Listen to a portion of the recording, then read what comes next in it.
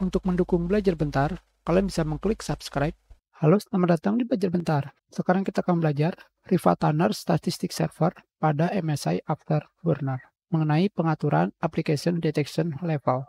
Tentu saja yang harus kalian lakukan pertama kali adalah menampilkan Riva Tanner yang bisa kalian temukan pada Show Hidden Icon di sini. Pada taskbar, kalian pilih Riva Tanner Statistic Server. Seperti ini tampilannya. Seperti ini.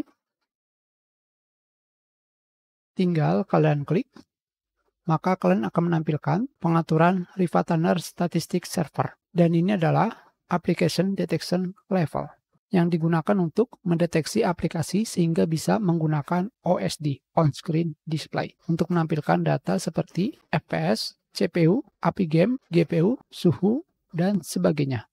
Di sini terdapat empat pilihan. Pengaturan awalnya adalah pilihan low. Di sini terdapat keterangan jika kalian memilih low, OSD bisa kalian gunakan pada aplikasi atau game modern seperti DirectX 9, 10, 11, 12, OpenGL, dan Vulkan. Contohnya seperti ini.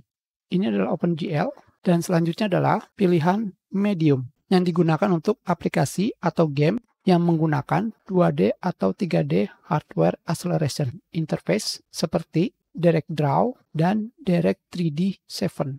Contohnya seperti apa? Sekarang kita lihat di sini.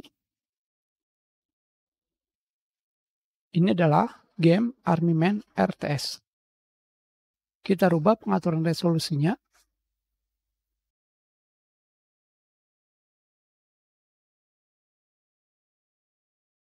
Di sini OSD belum ada.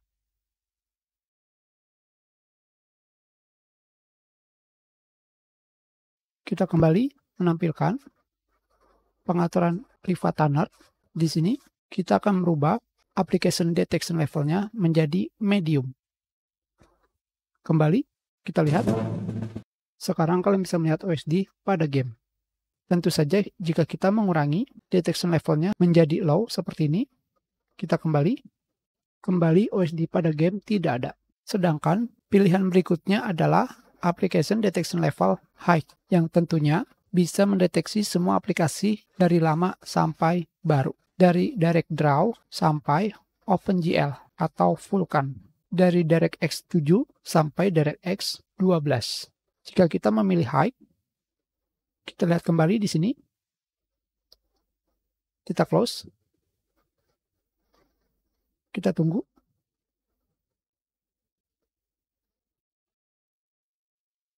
Dan kita lihat, OSD akan bisa ditampilkan pada game.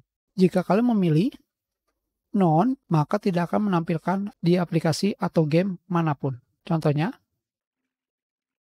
tidak ada, dan kembali ada. Kita sedih pelajaran kita. Terima kasih.